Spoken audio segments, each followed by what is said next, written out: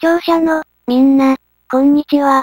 僕は前回くらいから、ブルーさんの運命に、誘われちゃったけど、プレステ2だけど、本当はガンダムガイデンさん、ガイデンさんとか、バンダイシャンのプラモデルの派生系の、人と、似ててキス、あまり、つながりはないけど、吉岡里帆ちゃんとか、このゲームのお料理のキスな、女の子と似てる、多分クリスマスケーキとかで活躍。うんでも、それは僕のそっちと、お仕事上での職業病ね。僕の、そっちは多分、思い過ごしだけど、なんか、りっちゃんと運命が、吉岡里帆さんは日本のトップアイドルさんです。うんガンダムさんは漫画チックな感じだね。西洋のコメディとかで、ありそう。一つ、バラスト。僕の得意なのは、オプンスとウエストサイドだよ。なんとなく、そういう風に見える？のは、昔、りっちゃんが落ち込んでるように、見えたからりほちゃんも不思議な力、持ってるよ。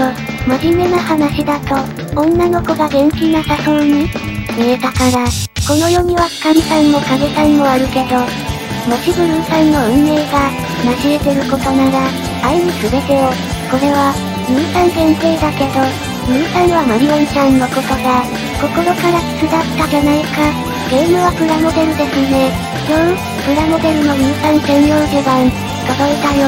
思いは力になる。そうだよねりっちゃん。星は、心で、満ちている。生き物たちのキスの集合体が、北欧で見られるオーロラだよ。うん、はい。僕頑張りすぎちゃった。ただのガノタさんだよ。普通に他の女の子に、鼻の下、伸ばしてます。僕、どうしたらいいのかな？パパとママによく、聞いてみるね。ボーンじゃなくてボーンだよ。お仕事ね。僕って、かわいそうな子なんだよ。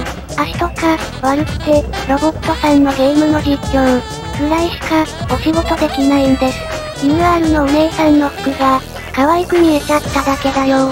お姉ちゃん、ごめんねって、多分、UR のお姉ちゃんに、よいしょ、しちゃおうとか、そういうこと、考えちゃいました。お姉ちゃん、お金持ちそうだから？りっちゃん、マクロスプラスプラスデータ逆式。りっちゃんりほ様吉岡様。